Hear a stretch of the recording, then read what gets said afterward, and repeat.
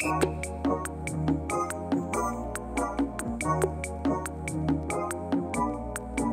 首歌其实在讲网络上面 follow 一个女生，有点像是粉丝这样子，然后每天观察她去哪里啊，跟谁在一起啊，有点像是单恋。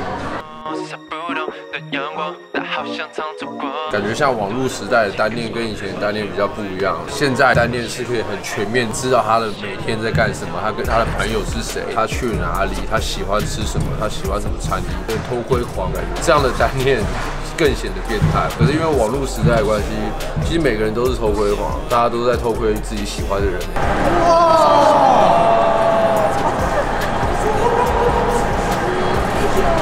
我没穿内裤。我说带一件内裤，所以我躺下去，我内裤就会湿。现在感觉就是很服帖，帅哥都不穿内裤了，不穿内裤啊？他自己讲的啊，因为这边他好像在节目上自己讲的啊，对吧？不然我的我我打开来看嘛。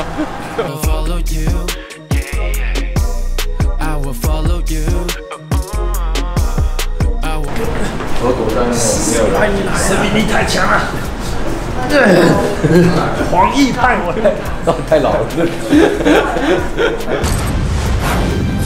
你是谁派来的？黄奕派来的。